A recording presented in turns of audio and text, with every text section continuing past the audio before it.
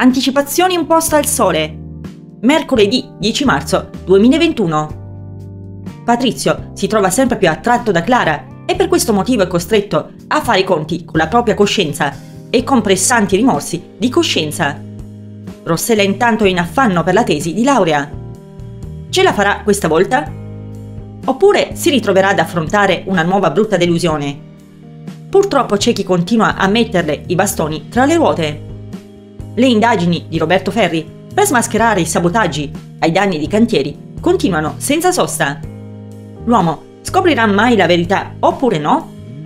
Nel frattempo tra Alberto e Clara si respira un'atmosfera di forte tensione e le interferenze di Barbara Filangeri non fanno altro che peggiorare la situazione. E la donna non ne vuole sapere di lasciare in pace l'imprenditore. Sassà e Bruno non riescono a pervenire a un punto d'incontro. Le cose tra loro si mettono molto male